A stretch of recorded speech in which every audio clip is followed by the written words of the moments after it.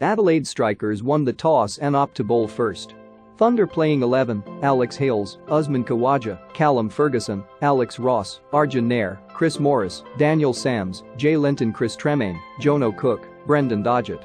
Strikers playing 11, Philip Salt, Jake Weatherald, Travis Head Alex Carey, Jonathan Wells, Matt Short, Michael Neser, Rashid Khan, Peter Siddle, Wes Agar, Billy Stanlake. Thunder grasp late win to send strikers packing. Sydney Thunder continue their giant killing run in the BBL finals, sneaking past the strikers to set up a date against the Stars at the MCG. A chance of Thunder? Men from the West win a final over Thriller as they upset a higher-placed home team for second time in three days to edge closer to an all-Sydney number BBL 09 decider the score.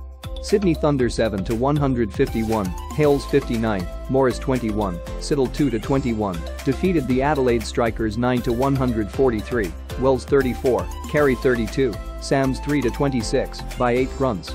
The fifth-placed Thunder knocked off a more fancied opponent in a do-or-die final once again, with BKT Golden Cap wearer Daniel Sams setting up the tensest of victories when he took two wickets in the penultimate over of the game and conceded just five runs.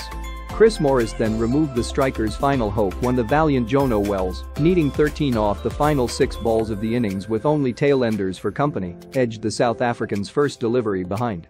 Chasing 152 to win, the hosts lost 3-2 in a dramatic late collapse before Chris Tremaine bowled four offside wides and conceded 16 off the third to last over to keep Adelaide in the game. The strikers had stuttered every time their run chase looked in the bag, but Sams' clutch death over took his figures to 3 to 26 from his 4 overs and saw his tournament wicket tally swell to 30 from 16 games. Aside from a late mishap in the field when 10 runs were required off 3 balls, Sams failed to attempt a high catch running from mid-wicket, it was a nerveless death performance from the Thunder's standout player of BBL 09. The strikers will rue throwing away what should have been a straightforward run chase, having been 3 to 115 with more than fivers to go.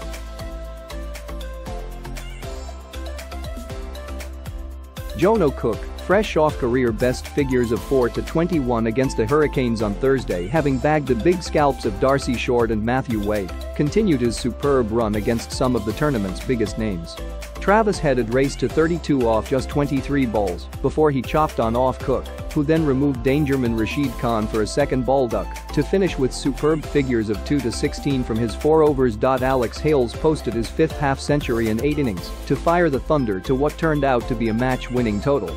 It was a typically power-packed knock from the broad-shouldered Englishman, who struck four sixes to the short square boundaries, but also had to pick his moments as the Thunder lost Usman Khawaja and Callum Ferguson in the power play. He took a particular shining to paceman Wes Agar, who did manage to leave the Thunder opener doubled over in pain after blows to the upper thigh and midriff, as well as having an edge just drop just short of keeper Carey. Hales, remarkably, faced 15 of Agar's first 18 legal deliveries, plus 3 wides, and blasted 40 runs off them to race to a 30-ball half-century.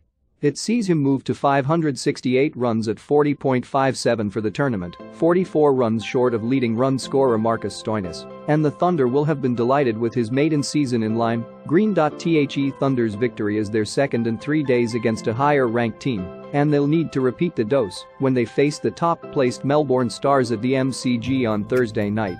Should they prevail, it will set up a mouth-watering all-Sydney decider against the Sixers at the SCG next Saturday. It's a disappointing finish to the season for the Strikers, who will rue the fact they lost their final regular season game of the season to miss out on second spot and the second chance.